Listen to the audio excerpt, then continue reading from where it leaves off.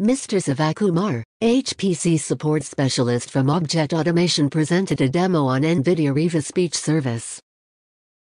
what I am doing is I am using this model and this is for input. So here I have given the text.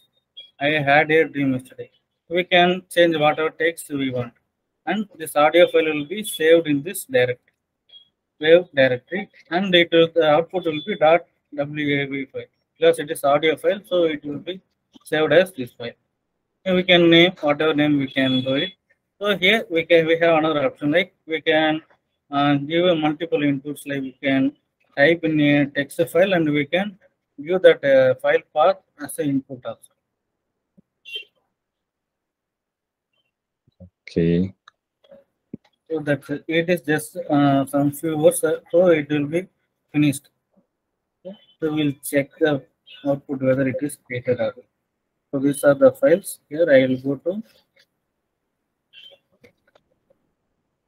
less. So this is our file. Output dot Okay. So here we didn't connected any um, audio output or input. So uh, we are not able to get the uh, audio from server. So what I done is I have downloaded this output to my local system. So we can uh, run this in our local system. This is the audio file uh, I have downloaded from uh, server to our local system. I play that.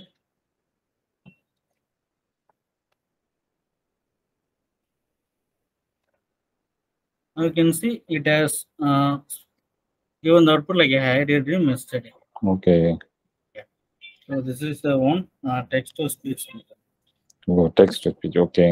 Uh, This is short text to speech. So like that we have another two models also. And this is pre-built model and if on you can train your model and you can run like this way.